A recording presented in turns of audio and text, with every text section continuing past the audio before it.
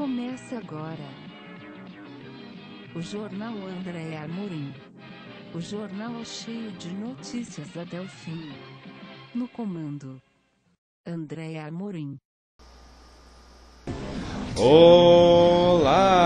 Muito bom dia, boa tarde, boa noite. Brasil! Bem? A partir de agora, Jornal André Amorim, jornal de notícias até o fim, já são 2113 de hoje.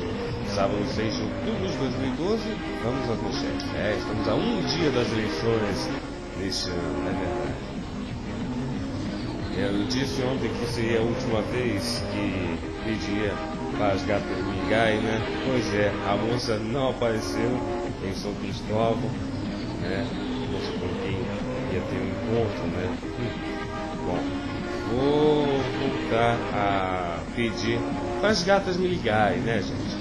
Me liguem, Zé Operador 21, 2, é, perdão, Zé Operador 21, 9476 3471, repetindo, Zé Operador 21, 9476 3471. Yes? Bom, vamos lá, vamos às manchetes. Contas de luz ficaram 6% mais barata para residências. Escândalo com verba pública, dinheiro para merenda ia para a compra das, ia para a compra de cerveja. Na sessão de mulher, Murilo Benício acompanha até para falar bela em um hospital. Mais, você vai saber a respeito dos candidatos em busca do último voto. Leda Nagli, 16 anos. Ah, voltando ao de mulher, Leda Nagli, 16 anos de bate-papo na telinha. Essas outras notícias de cabo de dia você vai saber, junto com algumas notícias do Sete Chico e com a piadinha do Chico, ok? Estas e outras notícias você vai saber logo mais no Jornal André Amorim, que já está no ar para você. Compre o jornal Dia, como o Rio gosta de ler. Os preços do jornal Dia são de segunda a sábado, um real e vinte centavos. Isso mesmo, um real e no domingo, o jornal Dia custa o dobro, quarenta centavos. Isso mesmo, e quarenta centavos. E o site de O Dia Online, www.udia.com.br. Repetindo, www.udia.com.br. Será que eu estou esquecendo alguma coisa? Loção hidratante Hidra Mais. Mais hidratação e proteção para peles ressecadas. Mais tempo de ação e mais economia. É mais suave e deixa a pele mais perfumada. Agora você não esquece.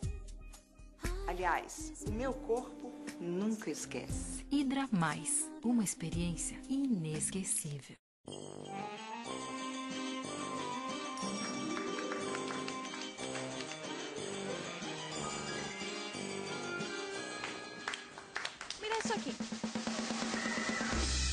Loteria instantânea da Caixa. Agora, com um real, você pode ganhar smartphones, tablets, notebooks e prêmios de até 70 mil na hora.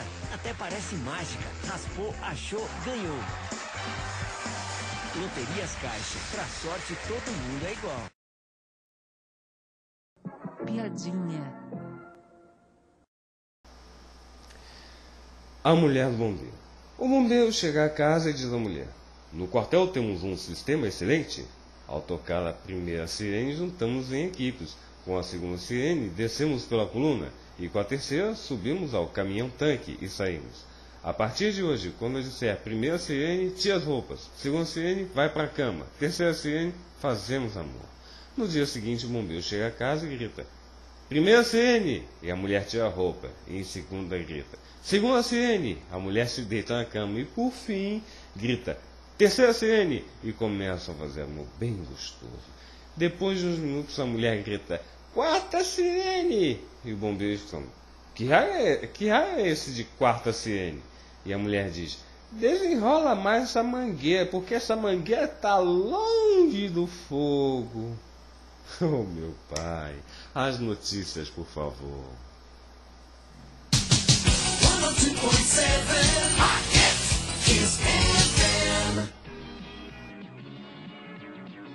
E agora, No Jornal Andréa Amorim, a notícia mais quente do dia. Escândalo com verba pública. Dinheiro da merenda ia para a compra de cerveja. Quatro professores de escola estadual terão de ver 137 mil reais. Verbas são usadas também para churrasco e passagens aéreas.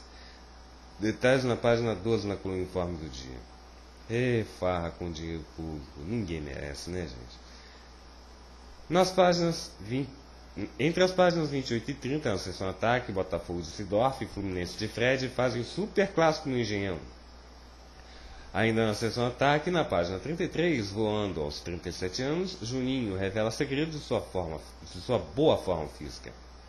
Ainda na, na seção ataque, na página 31, Adriano disputa com Love primeiro coletivo após volta ao Mengo.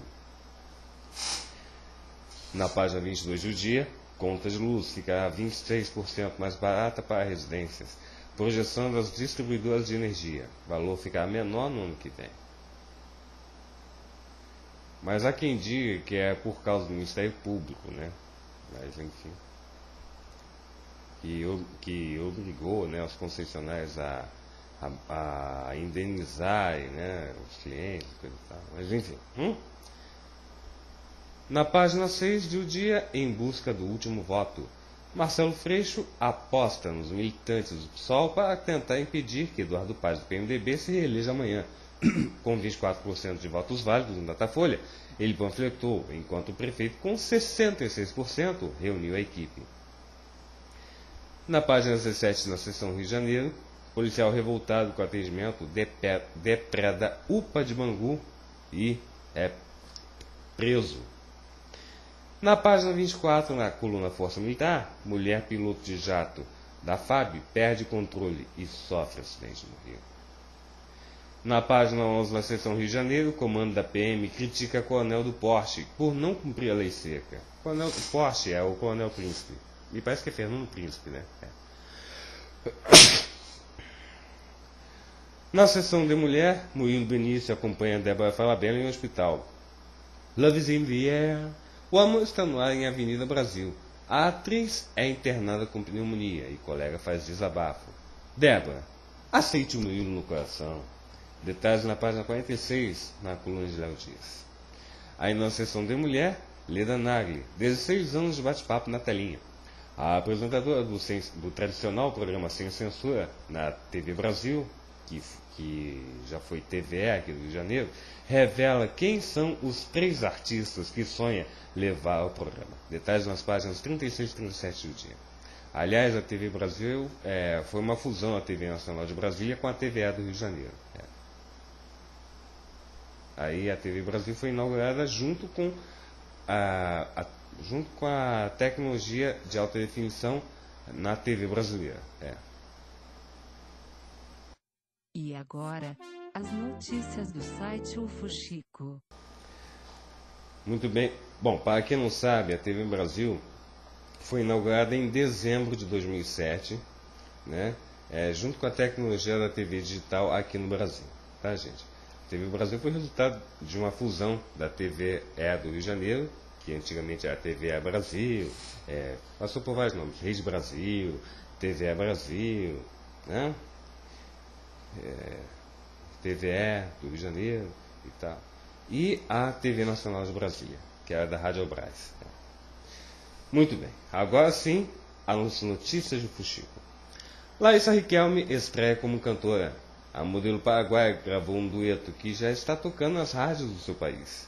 Larissa Riquelme não tem limites. Depois de conquistar fama e popularidade internacional por ter sido considerada a musa da Copa do Mundo 2010, a modelo paraguaia agora é cantora. Larissa lançou no passado, no fim de semana passado, no programa de televisão Baila Comigo Paraguai, um dueto com ritmo de cúmbia com a cantora Milagros Brites, mais conhecida como Mile. Ou meia, como é que é? Mais conhecida como Mili, La Cachorrita. Em sua estreia, Riquelme cantou sua primeira música de trabalho, Amiga Mia, e falou da sua nova experiência. Sou uma caixinha de surpresas danço, modelo, atuo e agora canto. Se as pessoas gostam, não faço drama. E mais, penso em escrever minhas próprias músicas, que vão pegar com tudo neste verão, avisa. É, boa sorte, né? A modelo paraguaia Larissa Riquelme. Muito bem. As três. Muito bem. É, filha adolescente publica foto de biquíni e irrita Alec Baldwin.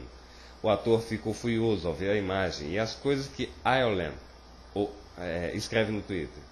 Alec Baldwin não tem uma boa relação com a ex-mulher Kim Basinger, mãe de sua filha de 16 anos, Ireland. E agora então anda furioso, porque a atriz permitiu que a adolescente publicasse fotos seminua na internet. Na imagem que foi tirada em frente a um espelho e foi vista pelos seus mais de 20 mil seguidores no Twitter, Ireland está usando um minúsculo biquíni. Como se não bastasse, em outro post, Ireland escreveu que estava jantando sushi com a mãe e fez o seguinte comentário: Sashimi de ouriço do mar é como uma explosão de sexo na boca. O pai da garota ficou irritadíssimo com seu comportamento, segundo uma fonte do The National Enquirer. Ele disse a Ireland: Olha, você não sabe quem está lá fora, olhando sua foto. Ireland pediu para, pediu para relaxar e explicou que ela usava aquele tipo de roupa para ir à praia, mas Alec respondeu: tudo bem quando você está na praia, mas não quando você espalha pela internet. Ele ficou furioso.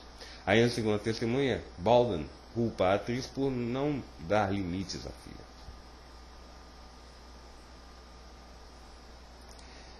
Muito bem, muito bem. Ah, Ratinho exibe entrevista exclusiva no Brasil com o ator de Chaves. A gravação com Roberto Bolanhos é de 2007.